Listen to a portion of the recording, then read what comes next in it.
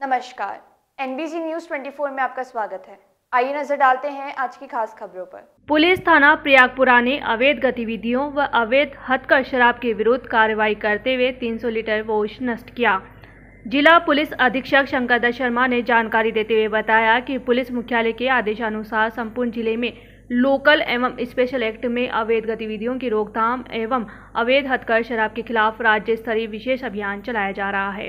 उपरोक्त आदेश की पालना में ब्रजेश ज्योति उपाध्याय, आईपीएसपी थानाधिकारी, पुलिस थाना प्रयागपुरा के नेतृत्व में पुलिस टीम द्वारा इलाका थाना मीणों की ढाणी में कार्रवाई करते हुए एक बड़ा ड्रम के करीब 300 लीटर अवैध हथकर शराब से भरे हुए पाए गए, जिन्हें मौके पर ही नष्ट किया गया।